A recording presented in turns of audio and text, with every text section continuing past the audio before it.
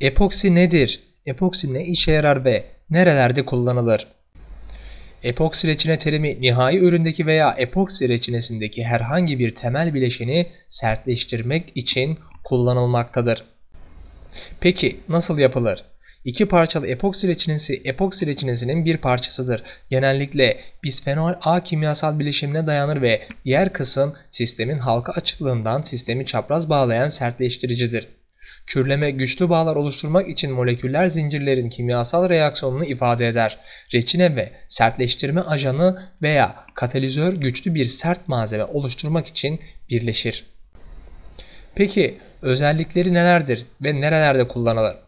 Çoğu durumda güçlü bir yapıştırıcı olarak kullanılan epoksi, metal ve ahşap gibi çeşitli malzemeleri kolayca yapıştırabilir. Epoksi reçineler genel amaçlı yapıştırıcılar olarak satılan çoğu nalburda bulunabilir. Epoksi reçine süper yapışkan yapısının yanı sıra çimento ve harç için bağlayıcı olarak da kullanılabilir.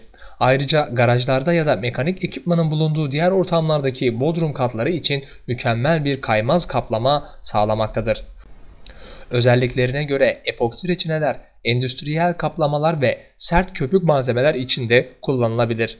Bunu güçlü bir fiber takviyeli plastiğin parçası olarak da düşünebilirsiniz.